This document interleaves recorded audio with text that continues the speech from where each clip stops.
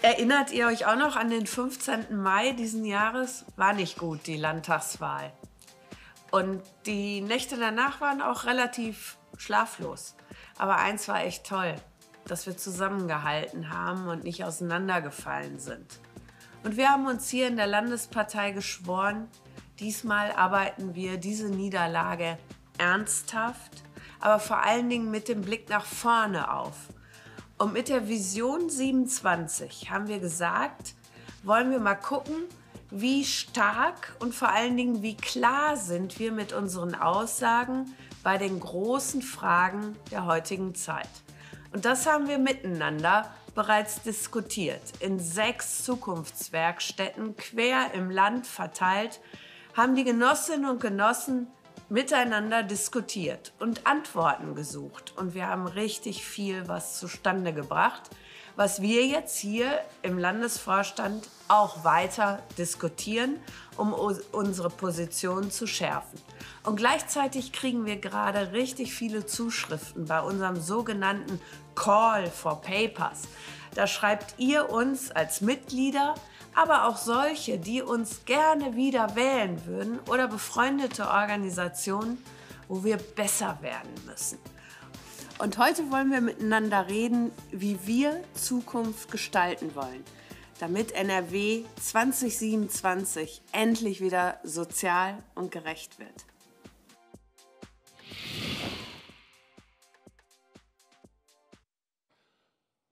Und damit ein ganz, ganz herzliches Willkommen zu diesem Zukunftsgespräch, dem Digitalen. Ich begrüße Sie aus dem fünften Stock des frisch renovierten Johannes Rauhauses.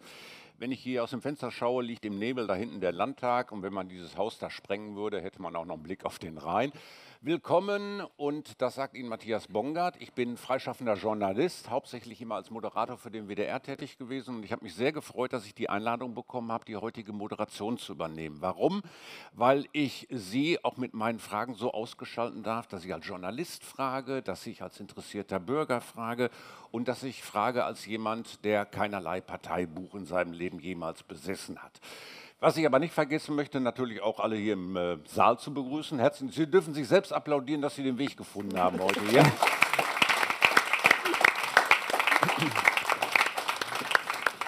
Herzlich willkommen. Es ist die erste große Veranstaltung in diesem Haus überhaupt seit Fertigstellung und wir wollen in der nächsten Zeit äh, mit Ihnen reden. Wir wollen aber auch nachdenken, denn Vision heißt ja auch einfach mal zu überlegen und zu denken und offen zu sein für irgendwas, was man anstößt. Und wir haben heute für den kurzen Überblick vier große Themen zu besprechen. Das ist einmal die Klima- und Umweltpolitik, dann ist es das Soziale, es ist das Thema Arbeit und es ist das Thema Aufstieg, also Bildung. Und diesen vier Themen widmen wir uns heute. Und ich glaube, es liegt in der Natur der Sache, dass man äh, zu jedem Thema alleine 20 Stunden oder 20 Tage reden könnte. Wir werden also mit Sicherheit nicht mit einem Ergebnis nach Hause gehen, aber wir werden auch mit Sicherheit mit Anregungen und mit wichtigen Gedanken heute diesen Vormittag bestreiten können. So, damit genug eigentlich erstmal der Vorrede. Der Rest erklärt sich von alleine. Ich nehme Sie da auch gern nachher noch ein bisschen ans Händchen, sage Ihnen auch, wie Sie mitreden können am heutigen Vormittag. Möchte aber erstmal, bevor wir jetzt ins Inhaltliche der angesprochenen Themenbereiche gehen, die zwei begrüßen, bei denen ich sagen kann, Nadja Lüders als Generalsekretärin und Thomas Guschati. Herzlich willkommen auf der eigenen Veranstaltung. Ja.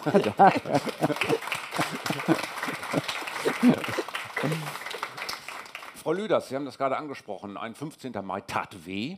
Und ähm, ich weiß, dass alle Politikerinnen und Politiker nach Malniederlagen sagen, egal welche Partei, dafür ist eine Antwort jetzt zu früh, wir müssen das erstmal sacken lassen und wir müssen das erstmal in Ruhe analysieren.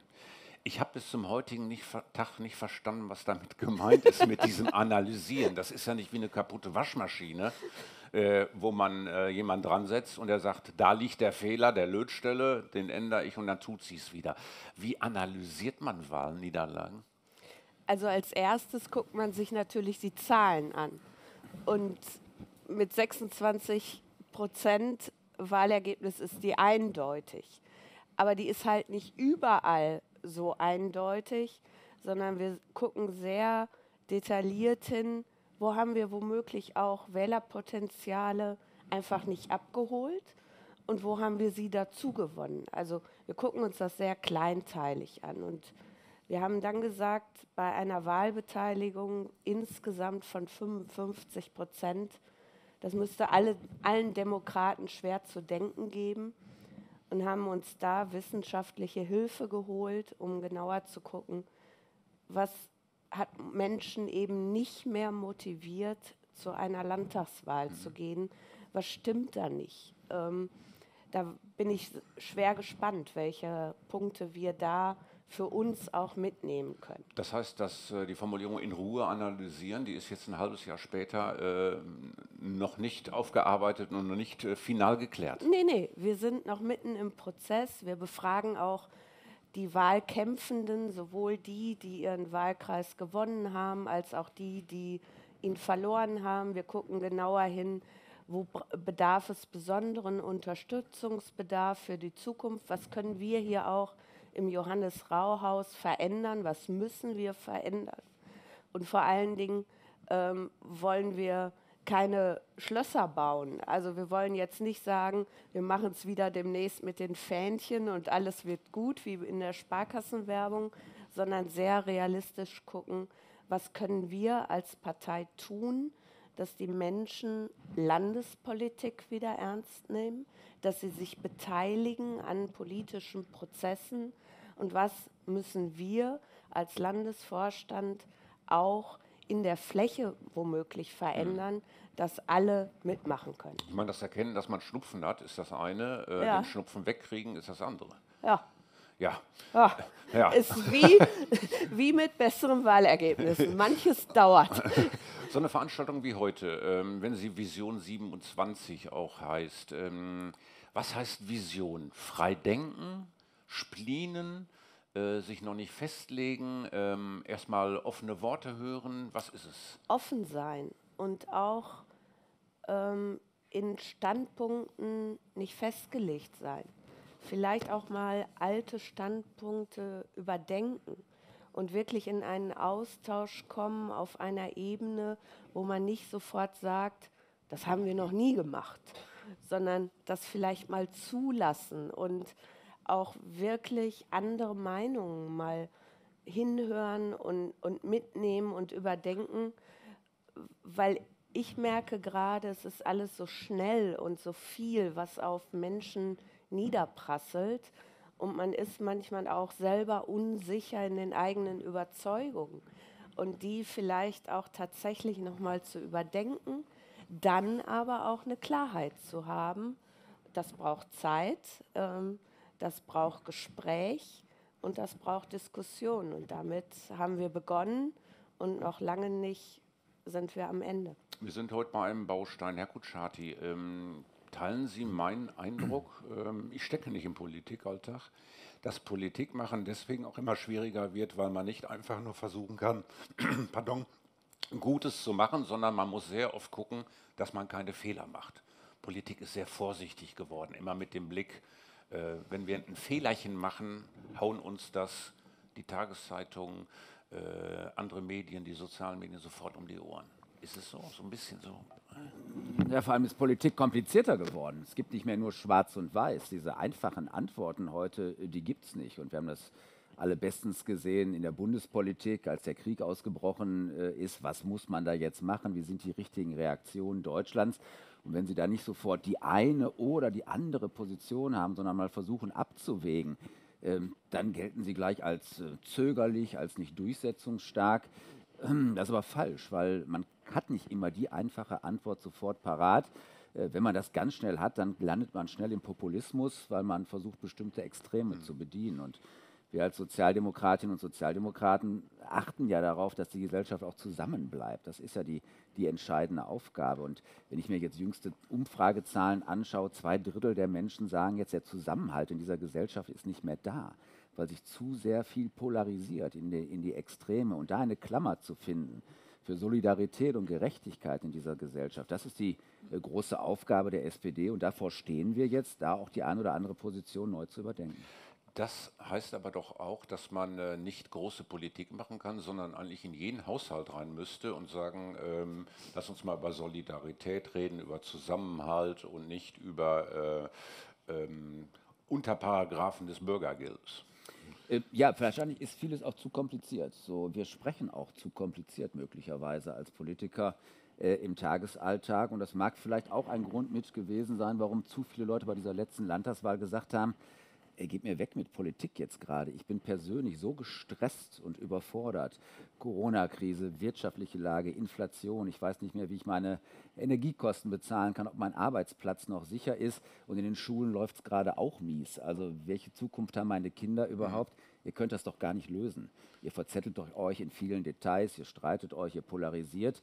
Und ich komme immer wieder zu meiner Klammer des Zusammenhalts in unserer Gesellschaft. Das, das ist das Entscheidende, was wir jetzt auch als Sozialdemokratie sicherstellen müssen, dass wir Menschen da auch äh, mitnehmen und ja, gerne auch in jeden einzelnen Haushalt äh, rein. Äh, wir müssen uns einfach auch mehr öffnen. Also Politik darf ja nicht nur im Parlament stattfinden, äh, sondern muss auf den Straßen stattfinden. Wir müssen wieder lebendiger, diskussionsfreudiger werden. Wir haben knapp 100.000 Mitglieder in der Sozialdemokratie in Nordrhein-Westfalen. Das sind alles Botschafterinnen und Botschafter für unsere Idee, die wir jetzt äh, noch ein bisschen ausschärfen wollen, vielleicht auch an der einen oder anderen Stelle neu ausrichten ähm, müssen, aber dann auch raus wollen, mitten in die Gesellschaft. SPD muss an jedem Arbeitsplatz, in jedem Klassenzimmer und überall stattfinden können. Was Sie nicht sehen konnten, ich saß aus dem Augenwinkel, dass im Publikum genickt wurde, als Sie gesagt haben, wir reden auch vielleicht zu kompliziert und vielleicht auch zu sehr intern und mhm. ähm, demonstrieren Politik und demonstrieren nicht äh, Volkesnähe, wenn man so will. Ähm, Frau Lüders, es ist, glaube ich, schwer Zusammenhalt zu schaffen, weil man das nicht in ein Wahlprogramm schreiben kann. Ähm, wie skizzieren Sie das Projekt, was Sie bis 2027 vorhaben? Denn Sie können nicht überall an der Haustür klopfen und sagen, bitte haltet zusammen die Bitte allein reicht ja nicht. Wir müssen es erstmal selber leben und die Ideen, die wir haben, um Zusammenhalt auch deutlich zu machen, die müssen wir, glaube ich, klarer formulieren. Ähm, diesen Zusammenhalt, den kann man ja nicht mit, mit, einer, mit einem Gesetz erzwingen oder der muss gelebt werden und dazu müssen wir vielleicht dann doch auch an vielen Haustüren klingeln, weil ähm, ins Gespräch zu kommen, den Menschen zuzuhören und vielleicht auch Meinungen manchmal zumindest ähm, aufzunehmen, die einem selber nicht so wirklich passen, um nachzuvollziehen, wo stehen die Menschen gerade. Ähm, ich glaube, das müssen wir wieder vermehrt machen und uns öffnen, ähm, um die Probleme der Menschen, die so unterschiedlich geworden sind, auch in NRW so unterschiedlich sind. Das, was bei mir in Dortmund ist, muss noch lange nicht in Köln gelten. Und ähm, trotzdem kann man, ähm, glaube ich, mit guten Beispielen auch zeigen, was sozialdemokratischer Zusammenhalt in der Gesellschaft am Ende bedeutet, mit dem, wie wir klare Positionen dann haben werden, ähm, zuhören werden, aber auch Lösungsansätze bieten. Mhm. Wenn ich mal äh, so in meinem Bekanntenkreis äh, frage, welchem Politiker, welcher Politikerin ähm, schenkst du deine Sympathien. Mhm. Dann sind das äh, meist keine kognitiven Antworten, wo es heißt, ähm, da wurde ein guter Satz zum Thema Straßenbau gesagt, sondern eigentlich immer, äh, dem glaube ich, der glaube ich, oder glaube ich nicht oder glaube ich weniger. Das ist fast so ein, äh, so ein Hauptkriterium. Ich weiß nicht, äh, ob mein Bekanntenkreis ein komischer ist, aber braucht Politik auch mehr Ehrlichkeit? Mhm. Klarheit vor allen Dingen und auch Ehrlichkeit, keine Frage. Ich glaube, Menschen spüren sehr genau, ob man das ernst meint, was man da sagt, oder ob das so aufgesetzt ist, so ein Politikersprech wieder.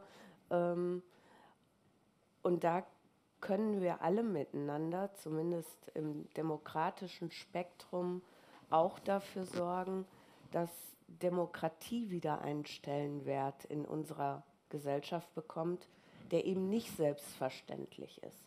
Und dafür jeden Tag einzutreten, das braucht Ehrlichkeit und Klarheit. Ja. Unsere Zeit, unsere Eingangsrunde ist fast um. Herr Kutschaty, noch eine Frage an Sie. Äh, heißt Ehrlichkeit nicht auch, äh, dass man ähm, den Menschen in unserem Krisenmodus vielleicht auch jetzt mal offen und ehrlich sagt, Fortsch äh, Zukunft heißt nicht zwingend mehr Fortschritt, sondern Zukunft heißt vielleicht auch ein bisschen Rückschritt. Naja, zumindest sollten wir so ehrlich sein und zu sagen, wir können nicht alles äh, reparieren und äh, so machen, wie es vielleicht vor einer Krise mal gewesen ist. Wir werden schon darauf einstellen müssen, dass Energiepreise teurer werden, dass wir unsere Energieversorgung ändern müssen, wenn wir beim Thema Klimaschutz uns unterhalten wollen und dass da auch jeder Einzelne gefordert ist. Ähm, aber für Politik ist es doch immer wichtig, einige wesentliche Grundlagen fürs menschliche Zusammenleben auch klar zu regeln. Und für mich sind das ganz entscheidende Faktoren. Wenn ich arbeiten gehe, muss ich davon auch leben können. Ähm, da muss ich mir eine Wohnung von leisten können und auch mal in Urlaub fahren äh, können. Das klappt heute nicht mehr, weil ich maloche und unter schwierigsten Bedingungen und unter schlechten Löhnen, das müssen wir regeln und in den Griff kriegen. Da kommt auch Vertrauen wieder hin und müssen in die Jugend und in die Kinder und in die Bildung investieren. Früher galt mal dieses Aufstiegsversprechen. Also ich bin ja selbst einer der Generationen, der als erster in der Familie mal ein Abitur machen konnte, studieren konnte. Das ist heute nicht mehr so gegeben. Und ich weigere mich einfach zu sagen, das geht heute nicht mehr so, ähm, sondern wir müssen die Chancen schaffen dafür und die Möglichkeiten schaffen. Äh, und das ist auch tatsächlich unser Auftrag. Aber zur Ehrlichkeit gehört auch dazu, zu sagen, wir können nicht alles äh, sofort machen und äh, alles gleichzeitig regeln und wir sind alle nur noch glücklich in diesem äh, Land. Das ist zwar unser ähm, äh, Ziel, aber dann wird man auch sehr schnell unglaubwürdig. Also wir wollen jetzt auch, wenn wir uns hier auch inhaltlich erneuern, natürlich keine leeren Versprechungen machen, sondern das Machbare im Auge äh, haben, aber gerade die Menschen auch im Auge nehmen, ähm, die politische Unterstützung brauchen, die eben äh, sich nicht fünf Anwälte leisten können, um für ihre Rechte zu streiten. Das sind wir, die SPD, sind die Anwälte äh, dieser Menschen. Äh, mir macht nur Sorge, dass gerade viele dieser Menschen, für die wir Politik machen wollen, äh, bei der letzten Wahl nicht dabei gewesen sind und nicht wählen gegangen sind. Und das ist auch nochmal der Gedanke unserer, äh, unseres Diskussionsprozesses, den wir ja jetzt machen, wo wir mittendrin sind. Was muss man da verbessern, damit wir auch wieder verstehen, aber auch wir wieder verstanden werden? Sie ähm, können verstehen, denn Sie bleiben heute hier noch äh, und hören sich äh, das an, was wir besprechen, was auch äh, Genossinnen und Genossen zu den einzelnen Themen sagen und anmerken. Lieben Dank für die Eingangsrunde, äh, den Gastgeberinnen. An dieser Stelle ein liebes Dankeschön auch fürs Kommen bei der eigenen Veranstaltung. Lieben Dank.